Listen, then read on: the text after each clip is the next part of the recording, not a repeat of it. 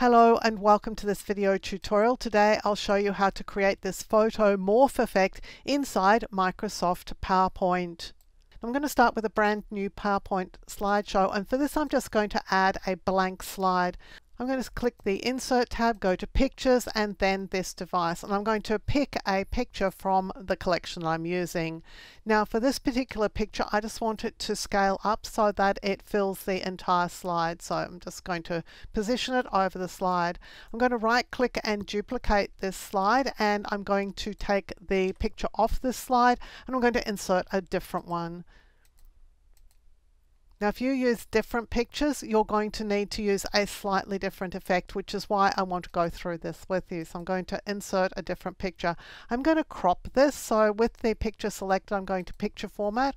I'm going to crop and I'm going to choose crop to shape and I'm going to select a circle. So let's go back to the crop tool here and let's just make that more like a circle. I'm just watching up here because it should be 7.5 by 7.5 that will be a circle and then I can click away from this to stop the cropping happening and then I can scale this down should I wish to do so. I'm just holding the shift key as I do. So this is my second image. So first image, second image, they're very different obviously. So to add the morph effect, I'm going to need to name these two images the exact same thing. So with the first slide selected, I'm clicking on the image. I'm going to the Home tab on the ribbon. I'm going to Select and then Selection Pane. And this is called Picture 4 because I've been working in PowerPoint. So what I'm going to do is put two exclamation marks in front of its name and note its name. So it's double exclamation mark and in my case it's Picture 4 but it could be two exclamation marks and horse or car or happy, whatever you like, it doesn't matter what you name it, they just have to be named the same thing.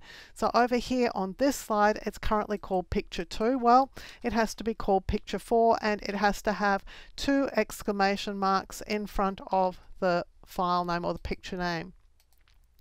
So to create our morph effect, all we're going to do is select the second slide, the one that we want to turn this picture into, and go to transitions and then morph, and you'll preview the morph effect. So now let's go back to our first slide and let's just preview our slideshow. When I click to change the slide, we're seeing the second image, and you can continue to add more images. So I'm just going to right click here and duplicate this slide. So I'm going to take this image, put it over here, I'm going to right click and I'm going to change the picture in this case. So I'm going to go and get a different picture from this collection. Now it's being cropped automatically. I will need to apply the morph effect to it, but apart from that, you'll notice that it has the same name because I just copied the last picture. So even though I changed the picture in this shape, it still has the same name. That just saves me a little bit of work. Let's go to the slideshow. Let's preview this going into one circle, second image, and now moving across to the third image. So this is a way that you can produce really interesting effects on a PowerPoint slide, morphing from one photo into another very, very easily inside PowerPoint.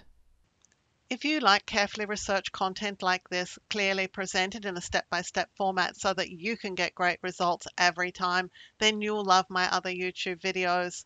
So give this video a thumbs up and click to subscribe to the channel. And on the screen now, you'll see a video that I've handpicked for you to watch next.